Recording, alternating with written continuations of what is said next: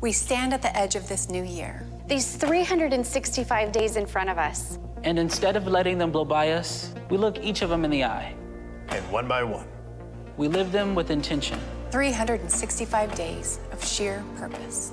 each lived like it's the only day we've got. What if I live every day like no other day is owed to me? I'd reach out to my dad, make things right before it's too late. On my sister's birthday this year, I'd call instead of text. I would wake up in the morning and I would ask God what He wants me to do. I'd take those vacation days I still haven't used. Instead of inviting her to coffee, I'd invite her to church.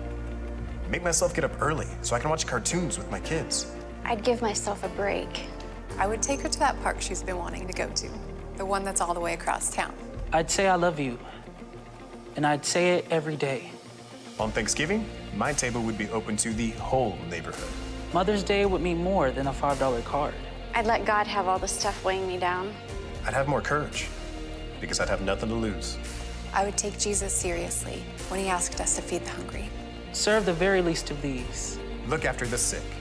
I'd be quicker to forgive because He forgave me. Living every moment with intention. Taking every purpose by the horns. leaving nothing unsaid. Leaving nobody behind. Making every minute count. I would use every hour I had on this earth. To love God, To love others. One intentional day at a time.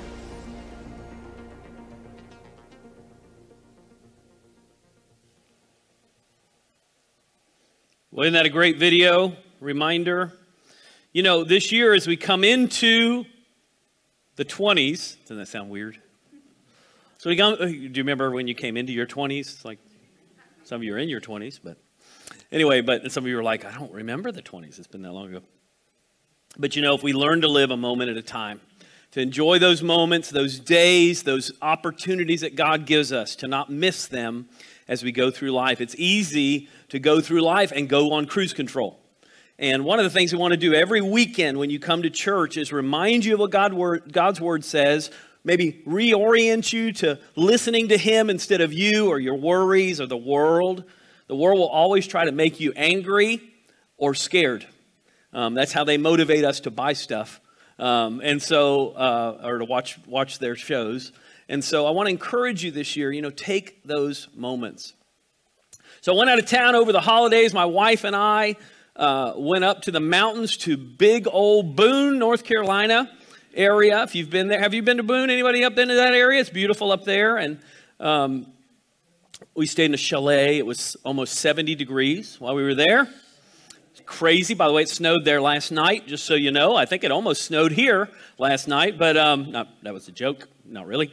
So we went skiing, and I, on the way to the ski slope, I said to Kristen, I said, hey, um, you know, I haven't skied in 25 years. Maybe I should take a lesson. Now, I was not a bad skier in high school and college. I actually skied black diamonds. I hated them because they're just too much work, and I'm lazy. If you know me, I'm lazy. And uh, so, um, by the way, I'm having eye surgery this week, uh, uh, and we have an awesome eye doctor in our church, but he was out of town the day I went to the doctor. But anyway, so um, I can't see you. So if you think I'm looking at you today, I'm not. I, I think if I do this, I can see your face. It's good to, oh, Steve, I'm not sure I want to do that again. So we went. So we went to the mountain, and so we go to this ski slope at um, Sugar Mountain. And Sugar Mountain is a, is a great slope. We looked it up. We had been tubing the night before at a ski slope, and I, I said, I think I've been here skiing before. And they said, Yes, we used to be, I think it was called Seven Devils before, they, which is a great name for church youth groups. And, um, and they said, But too many people broke their legs going down these ski slopes, so they changed it to uh, sledding and tubing, which is awesome, by the way. So that was a lot more fun for me because I didn't have to do anything. Uh, skiing is work. I don't know if you knew that. So we get our skis on. I was doing good. We kind of, I try to, you know, remember what I was doing.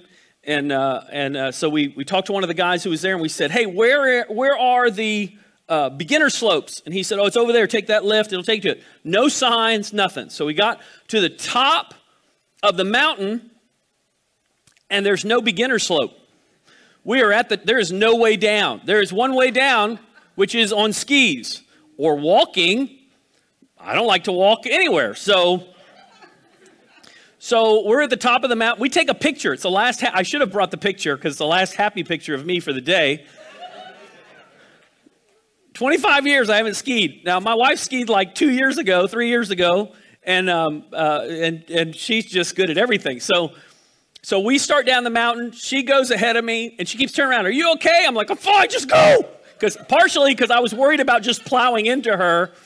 So I'm like, give me as much room. Now, one of the things you don't know is North Carolina compared to skiing out west is that there's about as much room as this aisle because it had been 70 degrees. So there was less and less snow. And there were 4 million snowboarders, half of whom were four and five years old. It was nuts.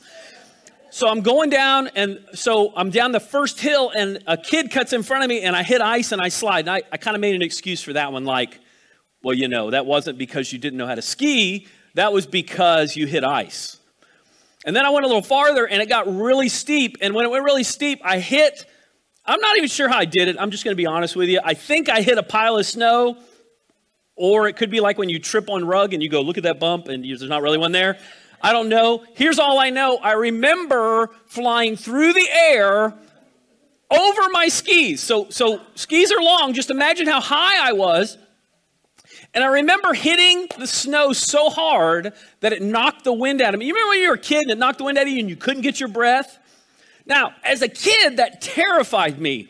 As a pastor, I thought, this is hilarious. It's going to make a great story on Sunday. I immediately started laughing as soon as I could breathe again and realized, man, I haven't had that happen in. And the good news is all my, all my ribs are still intact. So I'm trying to get up, but I'm on the steep part of the slope. And it's been a long time since I even figured out how to get my skis back on. So I'm on the slope. I'm trying to get my skis. Now, I should have, in hindsight, I should have gone to the side, but there were people everywhere. So it didn't matter where you were. I'm in the middle. I get my, finally find my ski. I pull it towards me. I get my boot in. I start to get up, and a little kid hits me rams into me. The board hits my keister. His body hits my kidney. He goes, he goes flying. It was like a, a movie. Like he was, like, I think if you could have seen it in slow-mo, it would have been like, no, upside down. He's now laying next to me here, and of course, he immediately starts crying. His father comes up and does what a typical dad would do, which is, get up, you're fine, you know. And so later I said to my wife, Do you think I hurt him? She goes, No, no, no. You're like Baymax. You're soft and fluffy. He probably just bounced right off of you. I'm sure how to take that. Now, here's the good news I only fell two more times on that run. That run, by the way, was an intermediate. It was a mile long with several pretty steep drops, and I, I only fell four times total, which I thought was good. And I didn't fall the rest of the day. I was very proud of myself. But let me tell you the worst part of this. Now, I'm a person, I go to the gym uh, about five times a week, early in the morning. I get up at 4.20 every day, Monday through Friday. I go to the gym. I'm at the gym before, and out of the gym before most of you are out of bed. But I bring water with me. And I bring water with me because I'm thirsty all the time. Well, I'm halfway down this one mile ski slope and I thought I was going to die. The snow starts looking good and it's been sitting there for a month. And I'm thinking, I, you know, and I was kind of glad when I fell, I got some snow in my mouth. I was like, mmm, oh, tasty. Anyway, and I mean, I was dying of thirst. All I could think about was water. And I started thinking, you know, back in the time of Christ, water was not an easy thing to get. Now we just get a bottle of water, we go to our tap, we turn it on. But in most places, you had to leave your home and go to the middle of the city or outside the city gates, and you had to bring a bucket or some way to get the water and a rope, and then you had to bring jars and you'd have to carry it back. Maybe you'd have something on your shoulders, and still, many places in the world still do that. Today, we're going to start looking at a city that did not have to do that at all. It was the city of Rome. See, the Romans, years before Christ, brought an aqueduct into Rome from water from outside the city, pure, wonderful water. And at the peak, the Romans had 300 million gallons of water coming into Rome every day. By the way, has anybody here been to Rome before? You've been to Rome? Still fountains there. Some of the fountains uh, uh, come from the original aqueduct. It's amazing uh, all the things that, that are there. But one of the things about Rome is if you were there, there, you would always, it would be a total change from anywhere else in the world. If you lived on a farm, if you lived in a normal city, water was not plentiful, but in Rome, water flowed. They not only had water, they had sewage, which is incredible for that time. And so the Romans, if you were listening to the book of Romans being read, let me just show you. So the book of Romans may have been read even outside of this building. This building is still there, and uh, uh, it was built and rebuilt, and I think we have a picture. Do you know what this is? What's this called? Do you know? The Parthenon. And so you've probably seen something similar in America. How many of you ever been to the Capitol building? Anybody been to the Capitol building? All right, let me show you the inside of the Parthenon. Does that look a little familiar? So, so our founding fathers basically designed what's in Washington, D.C., based on this ancient building. Here's what's really cool the book of Romans was most likely read right outside that building where the philosophers and the scholars and the Stoics would read their works and would discuss things. And so Paul writes to this early group of Christians in Rome. Before he ever got to go to Rome, he wrote to them. And of course, we know later Paul died in Rome. But at this time, he was longing to go to Rome. And so, as we look at this book, I, I, I hope that you'll kind of in your mind have this setting of where this would be read and what it was like to be a Christian that lived in Rome and walked through these amazing buildings. And they had, you know, of course, gods everywhere. And then it wasn't too many years later that Rome actually became a Christian city, and even the emperors became Christians, and Christian, eh, Christianity became the law of the land. And as we look at Romans, you're going to see a lot of things in there. People have said that Rome, Romans is the top book in Christianity. You could read just the book of Romans and figure out what it means to be a Christian. But I also know this it's easy for us to get off track in life. It's easy for us to, to lose our direction. And if you're like me, it's because you can't see. Or some of us are just directionally challenged. Anybody in here directionally challenged? Anybody in here have somebody sitting next to them that won't admit they're directionally challenged? All right, there we go. So we're going to look at three key truths of new directions, and I'm hoping this year to set a new direction for your life. Here's number one faith leads to obedience. Now, this is totally opposite of every other religion. I want to show you a picture. This is fake fruit. It looks pretty good. Here's the problem it looks too good. Why? Because it's fake. So many people, even in Christianity, if they're not careful, they just pretend. It's not real fruit. What is real fruit? Real fruit comes from trees and bushes. This came from an apple tree. Nobody had to go up to the apple tree and say, You better have some apples. Nobody had to go up to this tangerine, tangelo, tanger something. Now, it's not perfect fruit but it's fruit. Listen to what Paul says here. Paul, chapter 1, a servant of Christ Jesus. By the way, he calls himself a servant. Paul was trained by a guy named Gamaliel, who to this day is known as the, uh, the founder of the, or the final oral law person for the Jewish faith. If you talk to a rabbi, he knows the name of Paul's teacher. Paul was up there. Paul was a Roman citizen. Paul was well educated. Paul was the head of his religious union, as we would call it. And yet, what does he say as a Christian now? A servant of Christ Jesus, called to be an apostle and set apart for the gospel of God. By the way, then it says, the gospel he promised beforehand through his prophets in the Holy Scriptures regarding his son who, as to his earthly life, was a descendant of David. So he's reminding them hey, Jesus' lineage was from David, just like it prophesied in the Old Testament. By the way, the word gospel literally means good news. It just means good news. Most Christians, you wouldn't think by their face that's true. Some of you, even this morning, that I can barely see, don't know that. And then it says, and who through the Spirit of holiness, and it's talking about the Holy Spirit, was appointed the Son of God in power by his resurrection from the dead, Jesus Christ our Lord. Now, this is a huge, this whole sentence is a huge crazy sentence. So you remember Jesus said, I am the way, the truth, and the life. No one comes to the Father except through me. Jesus looked at people and said, If you want to know God, you have to know me. That is either a crazy person claiming to be something they're not, or Jesus was who he said he was.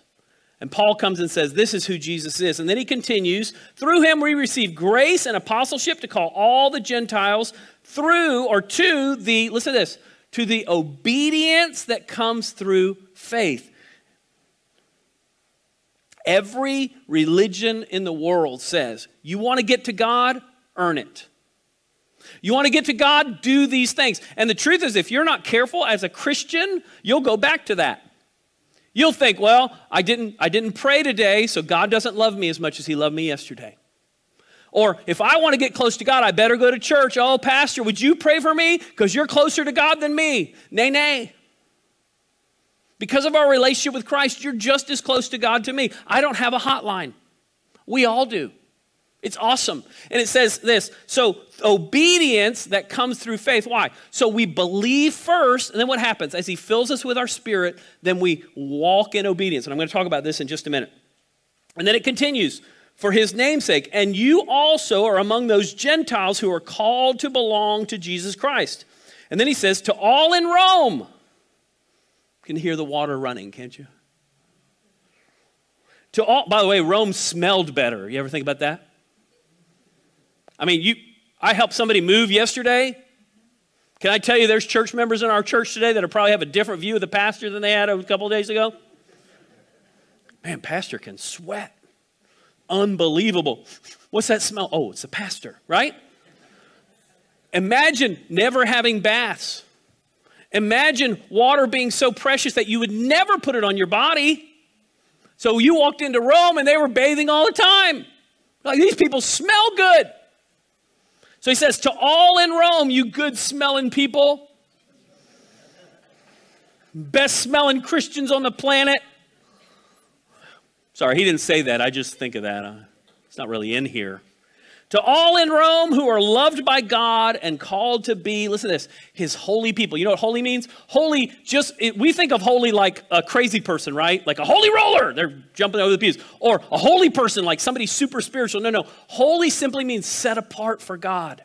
Holy purpose. That's what it means. And then he says, grace and peace to you from God our Father and from the Lord Jesus Christ. By the way, I could take that one passage and teach on it for an hour, but we're not going to. Religion says obey and you'll earn salvation. Christianity says put your faith in Him and you'll become something different.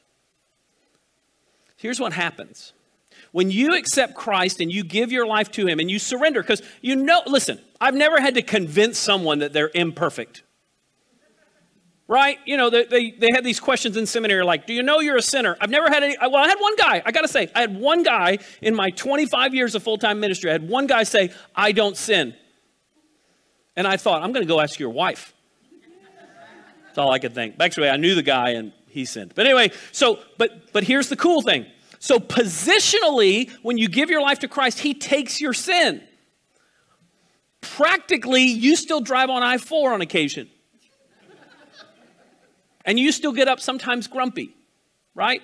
And, and, you still say things and you think, why did I say that?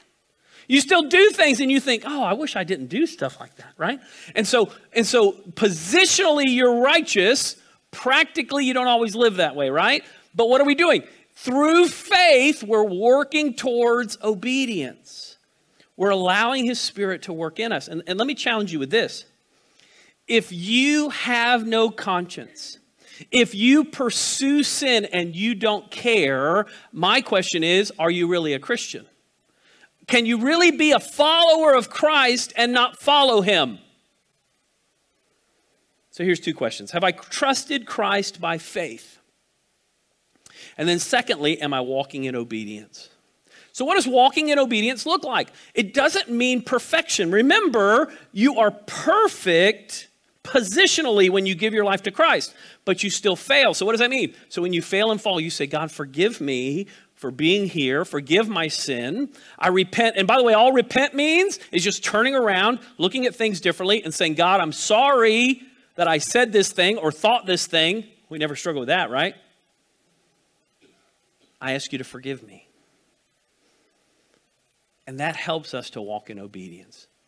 And the hope is, and the goal is, as the Holy Spirit works in our life, we're a little better, we're a little farther along than we were not long ago. By the way, you don't have to. You can tell God no. You will be miserable, but you can do it. Number two, we're saved by grace through faith, not works. Listen, if you don't hear anything else today, hear this point, and then you can go back to sleep. I want to make this simple for you, as simple as I can. All right? Anybody in here love to swim? You love to swim. Anybody in here ever have to swim? You were forced to swim. Anybody ever fallen out of a boat here and you were suddenly okay? Anybody know somebody who swum before? They have a friend. This we don't have any swimmers in our church apparently. We got about three. So anyway, last night was the same way. I'm like, has anybody ever seen somebody swim? You ever watch the Olympics? Say, okay. All right, best swimmer in the world. Maybe swims across the English Channel. What is that, like 30 miles or something? 10 million miles? I have no idea. I should have looked that one up. All right, so so here's the thing. Let's suppose we got a big plane and we flew everybody out to California. And we got on the beach in California and I said, listen, guys, we're going to take a swim today. And if you want to survive, you've got to make it to Hawaii. Go. So we take off, and I'm about 100 yards offshore, and a shark sees me and says, Man, that looks like Baymax. Snack. Done. Some of you get a little farther, you do great, right? You, you get farther. Patty's out there, and she gets so far. She's like 100 miles out. She's still going. She's got that back float down. She's going, but you know what? She is never going to make it the 2,000, let me give you exact numbers 2,471 miles to Hawaii. Never could make it. But let's suppose somebody comes by in a boat and says, You want to ride to Hawaii? And they pull you on the boat. You don't then sit on the boat and go, unless you're crazy. Here's the deal you cannot make it to God on your own. I don't care how perfect you are. Hey, if you haven't figured it out, even the Pope messed up this week. Don't tell anybody. He had to confess sin. You know what that makes him? Human. It's okay. The Bible says all have sinned and fall short of the glory of God. Everybody blows it. But what do we do? We don't. We get in the boat and we admit, Jesus, I need you. Jesus, I love you. Jesus, I, I can't make it on my own, and I surrender to you. And what do we do? We get in the boat. Now, when you're in the boat, you're grateful and you're thankful. But here's the deal you're saved by grace, not by what you do. So, why do we do anything good? Because we recognize what's been done for us. Listen to what Paul says I'm not ashamed of the gospel. Remember, that means good news because it's the power of God that brings salvation, get in the boat, to everyone who believes first to the Jew, then to the Gentile. For in the gospel, the righteousness of me, the righteousness of God is revealed. A righteousness that is by works. No, a righteousness that is by faith. This is what sets Christianity apart from every other religion. It's not based on our works. We surrender to Him. From first to last, just as it is written, the righteous will live by faith. That's from Habakkuk, from the Old Testament. The righteous will live by faith. So it's not a new thing. Some people say, oh, the Old Testament was works and the New Testament, no, no. It was always by faith. The Passover and the, and the sacrifices that were made in the temple were representations of what was to come. They were looking forward to the Messiah, and that was their faith put into action. So here's a question Do I believe in faith that I've been made righteous. That's positional, remember? Practically, I know we got a long way to go. I was driving this morning and some guy was in the left lane and something went through my mind that shouldn't have gone through my mind and I realized, oh, I'm human. If I could just bump him, that would be. I was, I was thinking maybe I should get a sticker that said, if you're in the left lane and that's where you think you should drive, I don't like you. See how sinful I am? Even your pastor needs Jesus, doesn't he?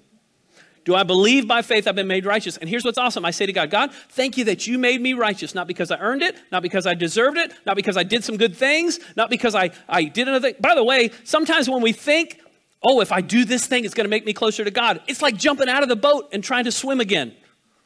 If I pray enough, then maybe I'll be more spiritual. And Jesus like, get in the boat. You can pray in the boat. You don't have to, you don't have to light a candle outside the boat. Get in the boat.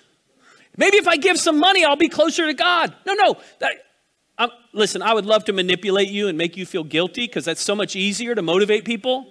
It's true. That's why pastors use guilt and manipulation because it's easy. When we understand by faith we've been given, what happens? It makes us want to obey because we realize all we've been given. We're in the boat, we're not swimming anymore. You don't have to be miserable anymore, walking in guilt and condemnation. You know that He's made you righteous, even when you blow it and you think about the driver in front of you. By the way, I hope it wasn't somebody that goes here to church. Not that that would make any difference, like it's not a human. Number three, worshiping God in truth changes direction. Your beliefs change everything. Let me show you a picture. This was the map that Columbus had. Scholars say that Columbus didn't really, and even in his time, they didn't necessarily believe you were going to fall off the earth. They just thought you were going to go round and round the edge. By the way, this was like six by four. That's a big old, I mean, how do you even unroll that on a boat?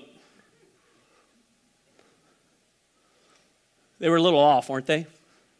They did, by the way, they didn't like open space, so they wouldn't draw it. That's why it looks like there's just lakes here and there. So he thought he was coming to India. Even when he got here, he thought he was. By the way, when they were on the way here, they were almost here. They ran into something called Sargasso Sea. If you ever seen that brown stuff on the beach, when they did, his men thought we've come to the end. They tried, they wanted to mutiny. The trade winds stopped. You know what Columbus did? He started having them row, give them something to do. He said immediately their attitude improved. By the way, some of us just need to start rowing a little bit. Go to Publix, whatever. The truth sets you free. Many people walk in bondage because they don't know the truth. And even as Christians, if we're not careful, we'll believe lies. That's why we have to go back to God's word. That's why the book of Romans is so great. Paul says this they exchanged the truth of God for a lie and worshiped and served created things rather than the creator. Time out. This is not only talking about idols and other things, it's talking about they serve themselves. They tried to meet their own desires all the time. They tried to just do what felt good to them.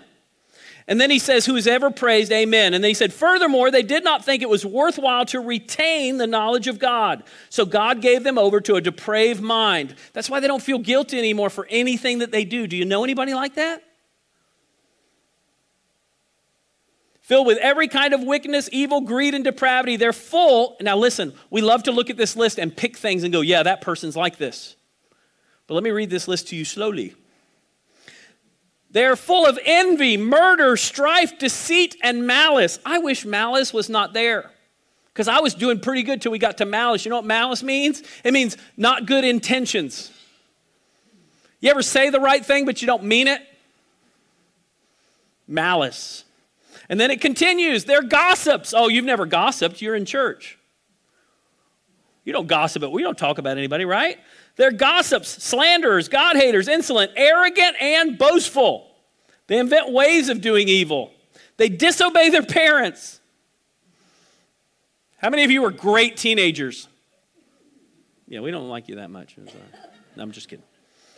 You're still a great person. My mom would tell you I was a great teenager. That's because she didn't follow me around. Although they, they, excuse me, they have no understanding, no fidelity, no love, no mercy, although they know God's righteous decree and those who do such things deserve death, they continue to do those things, but approve of those who practice them. Not only do they do what's wrong, they pull other people into it. Not only do they get drunk every night, they say, Come get drunk with me. Come follow me in sin. Oh, you don't have to worry about that. You don't have a choice of how you feel, so just go with your feelings they pull other people in. So let me ask you the final question today Am I worshiping God with my life? And is there any sin I need to confess to God? As we start on this journey through the book of Romans and we talk about this idea of new directions, my prayer is that every week you'll have a little more truth. Every week you'll see the map more clearly and you'll know the direction God has for you. Maybe each week there's one thought that you've always had and you'll identify it so that as you're going through your week, oh, you mean I messed up and God still loves me just as much? And it'll change how you live as you receive the truth. If you're here today and you've never given your life to Jesus Christ, we want to give you an opportunity every week. We don't do a formal invitation where people come down the aisle, but I'll be here after the service. And so after our time of offering, if you need to pray or if you're online, you can send me a note and you want to talk about what it means to be a Christian. I'd be glad to talk to you about what it means to surrender your life, surrender your sin, surrender your mess ups to God, and to receive God's forgiveness through the death and resurrection of Jesus Christ. If you want to do that today, I'd be glad to talk to you. If you're here today, my prayer for you is that there was one thing that I said that you said, huh, I hadn't really been applying that. And that you'd begin this week. Maybe you'll write that down. Maybe you'll put it in your phone. Maybe you'll text yourself just to remind yourself this is a truth that I need. Let's go to Lord in prayer today. Father, thank you for your word and your power. I thank you that we can take our, our supper, your supper, together to remind us of the forgiveness you've given us. And Lord, I know there's folks here today that are walking in condemnation, they're walking in guilt. Lord, when all they need to do is just confess and make things right with you, and you said we can walk in freedom. Lord, I thank you that you said it's the truth that'll make you free. I pray we could walk in your truth. Help us to learn your truth in these next few weeks as we read your word and spend time in it. Set us free, Lord. Set us free from ourselves. Set us free from our bondage. Set us free from our fears and our anger and our sin. And help us to just sit in your presence. Lord, to not keep trying to swim, but to surrender ourselves and get on the boat with you, knowing that you've given us all righteousness. We thank you for that. Lord, bless each one today that's here. In Jesus' name, amen.